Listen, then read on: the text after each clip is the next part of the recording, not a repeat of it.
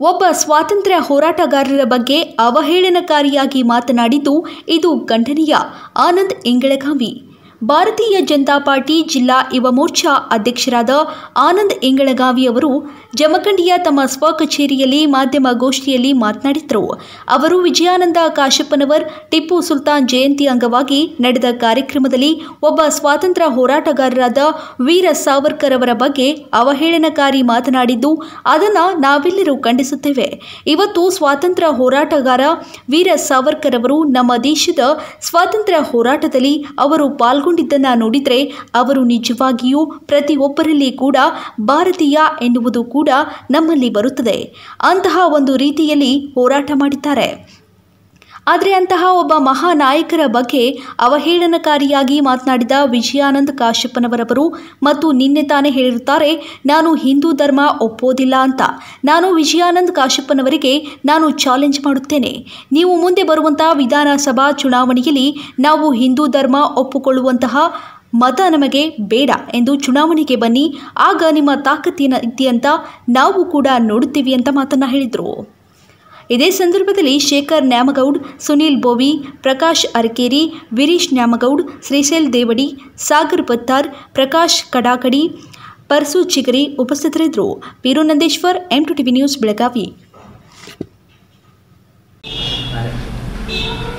ಮೊನ್ನೆ ಮಾಜಿ ಹುಣಗುಂದಿನ ಶಾಸಕರಾದಂಥ ವಿಜಯಾನಂದ ಕಾಶಪ್ಪನವರವರು ಒಂದು ಟಿಪ್ಪು ಜಯಂತಿಯ ದಿನದಂದು ಒಂದು ಧರ್ಮದ ಕೋಮಿನವರನ್ನು ಹುರಿದುಂಬಿಸುವ ಸಲುವಾಗಿ ಒಬ್ಬ ಸ್ವಾತಂತ್ರ್ಯ ಹೋರಾಟಗಾರನ ಬಗ್ಗೆ ಅವಹೇಳನಕಾರಿ ಮಾತನಾಡಿದ್ದು, ಇವತ್ತು ನಾವೆಲ್ಲರೂ ಕೂಡ ಅದನ್ನು ಖಂಡಿಸ್ತಾ ಇದ್ದೀವಿ.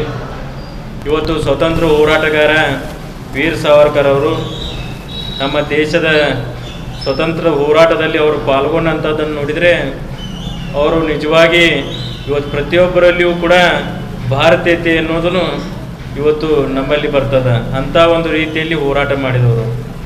ಆದರೆ ಅಂಥ ಒಬ್ಬ ಮಹಾನ್ ನಾಯಕರ ಬಗ್ಗೆ ಅವಹೇಳನಕಾರಿಯಾಗಿ ಮಾತನಾಡಿರುವಂಥ ವಿಜಯಾನಂದ್ ಕಾಶ್ಯಪ್ನವರವರು ಮತ್ತೆ ನಿನ್ನೆ ತಾನೇ ಹೇಳ್ತಾರೆ, ನಾವು ಹಿಂದುತ್ವವನ್ನು ಒಪ್ಪುವುದಿಲ್ಲ ಅಂತೇಳಿ. ನಾನು ವಿಜಯಾನಂದ್ ಕಾಶ್ಯಪ್ನವರವ್ರಿಗೆ ಇವತ್ತು ಚಾಲೆಂಜ್ ಮಾಡ್ತಾ ಇದ್ದೀನಿ.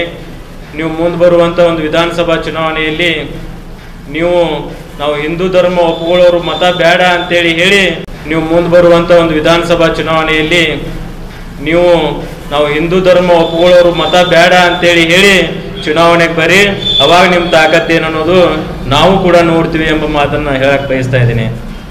ಅದೇ ರೀತಿ ಇವತ್ತು ಹಿಂದೂ ಧರ್ಮದ ಬಗ್ಗೆ, ಹಿಂದೂ ಧರ್ಮನೇ ಇಲ್ಲ ಅಂತ ವಾದಿಸುವಂಥ ವಿಜಯಾನಂದ್ ಕಾಶ್ಯಪ್ನವರವರೇ ಹೋದ ಸತ್ತೆ ನೀವು ಕೂಡ ಎಂ ಪಿ ಚುನಾವಣೆಯಲ್ಲಿ ಪಾಲ್ಗೊಂಡಿರಿ ಎಂ ಪಿ ಚುನಾವಣೆಯಲ್ಲಿ ಎರಡು ಲಕ್ಷ ಮತದ ಅಂತರದಿಂದ ನಮ್ಮ ಶಕ್ತಿ ಏನೈತೆ ಅಂತೂ ಕೂಡ ನಿಮಗೆ ತೋರಿಸ್ಕೊಟ್ಟಿವಿ. ನೀವು ಇದೇ ರೀತಿ ಮುಂದುವರೆದ್ರೆ ವಿಧಾನಸಭಾ, ಲೋಕಸಭಾ ಚುನಾವಣೆಯಲ್ಲಿಯೂ ಕೂಡ ನೀವು ಮನೆಯಲ್ಲಿ ಕೂಡಿಸುವಂಥ ಒಂದು ಕೆಲಸ ಈ ನಾಡಿನ ಜನ ಮಾಡ್ತಾರೆ ಎಂಬ ಮಾತನ್ನು ಕೂಡ ನಾನು ಇಲ್ಲಿ ಹೇಳಕ್ಕೆ ಬಯಸ್ತಾ ಇದ್ದೀನಿ. ಇವತ್ತು ಟಿಪ್ಪು ಟಿಪ್ಪು ಜಯಂತಿನ ಸಲುವಾಗಿ ಇವತ್ತು ಒಂದು ಧರ್ಮದ ಒಲವಿನ ಸಲುವಾಗಿ ಆ ಒಂದು ಟಿಪ್ಪುವನ್ನು ಸ್ವಾತಂತ್ರ್ಯ ಹೋರಾಟ ಅಂತ ಬಿಂಬಿಸುವಂಥ ಒಂದು ಕೆಲಸ ಇವತ್ತು ವಿಜಯಾನಂದ ಕಾಶ್ಯಪ್ನವ್ರವ್ರು ಮಾಡ್ತಾ ಇದ್ದಾರೆ ಇವತ್ತು ಟಿಪ್ಪು ಟಿಪ್ಪು ಯಾವುದೇ ಆದಂಥ ಒಂದು ರಾಷ್ಟ್ರ ಹಾಗೂ ನಾಡಿನ ಹೋರಾಟದಲ್ಲಿ ಅವರು ಪಾಲ್ಗೊಂಡಂಥವರಲ್ಲ ತಮ್ಮ ಸ್ವಂತ ರಾಜ್ಯವನ್ನು ಉಳಿಸಿಕೊಳ್ಳೋ ಸಲುವಾಗಿ ಹೋರಾಟ ಮಾಡಿದವರು ಅಂತೇಳಿ ನಾನು ಇಲ್ಲಿ ಹೇಳಕ್ಕೆ ಬಯಸ್ತಾ ಇದ್ದೀನಿ. ಅದೇ ರೀತಿ ನಿನ್ನೆಯೂ ಕೂಡ ಪ್ರೆಸ್ ಮೀಟ್ನಲ್ಲಿ ಹೇಳ್ತಾರೆ, ವೀರ್ ಸಾವರ್ಕರ್ ಅವರು ಗೂಗಲ್ನಲ್ಲಿ ಫ್ರೀಡಮ್ ಫೈಟರ್ಸ್ ಅಂತ ತೆಗೆದು ನೋಡ್ರಿ, ಗೂಗಲ್ನಲ್ಲಿ ವೀರ್ ಸಾವರ್ಕರ್ ಅವ್ರ ಹೆಸರಿಲ್ಲ ಅಂತ ಹೇಳ್ತಾರೆ. ಅದನ್ನೇ ಅವ್ರು ಏನು ಮಾಡ್ತಾ ಇದ್ದಾರಪ್ಪ ಅಂತಂದ್ರೆ, ಅವರು ಗುಂಗಿನಲ್ಲಿ ಇರ್ತಾರೆ ವಿಜಯಾನಂದ್ ಕಾಶ್ಯಪ್ನವರವರು. ಟಿಪ್ಪುನ ಹೆಸರು ಪಡೆದು ಗೂಗಲ್ನಲ್ಲಿ ನೋಡಿರ್ಬೇಕು. ಅವಾಗ ಅವ್ರಿಗೆ ಫ್ರೀಡಮ್ ಫೈಟರ್ಸ್ ಯಾರು ಅನ್ನೋದು ಗೊತ್ತಾಗಿಲ್ಲ. ನಿಜವಾಗಿ ಫ್ರೀಡಮ್ ಫೈಟರ್ಸ್ ಯಾರಪ್ಪ ಅಂತಂದ್ರೆ, ಅದು ವೀರ ಸಾವರ್ಕರ್ ಅವರು ಎಂಬ ಮಾತನ್ನು ಕೂಡ ನಾನು ಇಲ್ಲಿ ಹೇಳಕ್ ಬಯಸ್ತಾ ಇದ್ದೀನಿ ಪದೇ ಪದೇ ಗುಂಡಾವರ್ತನೆಯಿಂದ ಮಾತನಾಡಿರುತ್ತ ವಿಜಯಾನಂದ್ ಕಾಶ್ಯಪ್ನವರವ್ರೆ ಇದೇ ರೀತಿ ನಿಮ್ಮ ಸರ್. ಕಾಶಪ್ಪನವ್ರ ಸರ್ ಅವರು. ಈಗ ಸಾವರ್ಕರ್ ವೀರ್ ಸಾವರ್ಕರ್ ಅವ್ರ ಬಗ್ಗೆ ಒಂದು ಶಬ್ದವಾದ ಶಬ್ದವನ್ನು ಬಳಸಿದ್ರು ಅದಕ್ಕೆ ನೀವೇನು ಏನು ಹೇಳ್ತೀರಿ? ನಿಜವಾಗಿ ವೀರ ಸಾವರ್ಕರ್ ಅವ್ರ ಬಗ್ಗೆ ಆ ಶಬ್ದ ಬಳಸಿದ್ದು ಇವತ್ತು ಇಡೀ ದೇಶಕ್ಕೆ ಮಾಡಿದಂಥ ಒಂದು ಅವಮಾನ ಎಂಬ ಮಾತನ್ನು ನಾನು ಇಲ್ಲಿ ಹೇಳಕ್ಕೆ ಬಯಸ್ತಾ ಇದ್ದೀನಿ. ಇವತ್ತು ನಾನು ಖಂಡಿಸಬೇಕಾದ್ರೆ ಒಂದು ಮಾತನ್ನು ಸ್ಪಷ್ಟವಾಗಿ ಹೇಳಕ್ಕೆ ಬಯಸ್ತಾ ಇದ್ದೀನಿ. ಇವತ್ತು ಆ ಮಾತನಾಡಿದಂಥ ಒಂದು ಶಬ್ದವನ್ನು ವಿಜಯಾನಂದ ಕಾಶ್ಯಪ್ನವ್ರು ಹಿಂದಕ್ಕೆ ತಗೋಬೇಕು? ಇಲ್ಲ ಅಂದರೆ ನಿಜವಾಗಿ ಆ ಶಬ್ದ ಏನಿದೆ ಆ ಶಬ್ದ ಅವರಿಗೆ ಸೂಟ್ ಆಗ್ತದೆ ಎಂಬ ಮಾತನ್ನು ಕೂಡ ನಾನು ಇಲ್ಲಿ ಹೇಳಕ್ಕೆ ಬಯಸ್ತಾ ಇದ್ದೇನೆ. ಮತ್ತೊಂದು ಇವತ್ತು ಒಂದು ಇದನ್ನ ಹೇಳಿಕೆ ಕೊಟ್ಟಿದ್ದಾರೆ ಅವರು. ಈಗ ಮಾಜಿ ಸಿ ಎಂ ಯಡಿಯೂರಪ್ಪನವರು ಸ್ಥಾನವನ್ನು ಬಿಟ್ಕೊಟ್ಟಲ್ಲ ಅದಕ್ಕೆ ಅದೇ ರೀತಿ ಇವರು ಒಂದು ಬಿಟ್ಟು ಹೋಗ್ತಾರೆ ಅನ್ನೋದು ಮಾತು ಮಾತಾಡ್ಯಾರ ಅದಕ್ಕೆ ವಿಜಯಾನಂದ ಕಾಶ್ಯಪ್ನವ್ರು ನಮ್ಮ ಪಕ್ಷದ ಹೈಕಮಾಂಡ್ ಏನಲ್ಲ ಇವತ್ತಿನ ಒಂದು ಸರ್ಕಾರ ಭಾಳ ಒಳ್ಳೆಯ ರೀತಿಯಲ್ಲಿ ನಡೀತಾ ಇದೆ.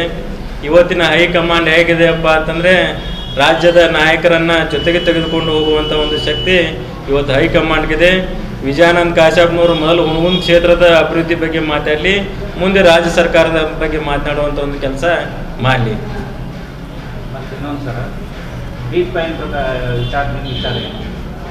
ನಿಜವಾಗಿ ಹೇಳಬೇಕಪ್ಪ ಅಂತಂದರೆ ಆ ಒಂದು ಹಗರಣದಲ್ಲಿ ಕಾಂಗ್ರೆಸ್ಸಿನ ಹಲವಾರು ಮಾಜಿ ಹಾಗೂ ಹಾಲಿ ಸಚಿವ ಮಾಜಿ ಸಚಿವರ ಮಕ್ಕಳು ಅದರಲ್ಲಿ ಶಾಮೀಲಿದಾರ ಅನ್ನೋದು ಕೂಡ ಇವತ್ತು ನಮಗೆ ಮಾಹಿತಿ ಇದೆ ಎಂಬ ಮಾತನ್ನು ಹಲವರು ಹೇಳ್ತಾ ಇದ್ದಾರೆ. ಅದನ್ನು ಮುಚ್ಚೋಕ್ಕೋಸ್ಕರ ತಮ್ಮ ಹೆಸರು ಬಂದಿತ್ತು ಅಂತೇಳಿ ಇವತ್ತು ಬಿ ಜೆ ಪಿ ಸರ್ಕಾರದ ಮೇಲೆ ಹಾಕುವಂಥ ಒಂದು ಕೆಲಸ ವಿರೋಧ ಪಕ್ಷದವರು ಇವತ್ತು ಮಾಡ್ತಾ ಇದ್ದಾರೆ. ಧನ್ಯವಾದ.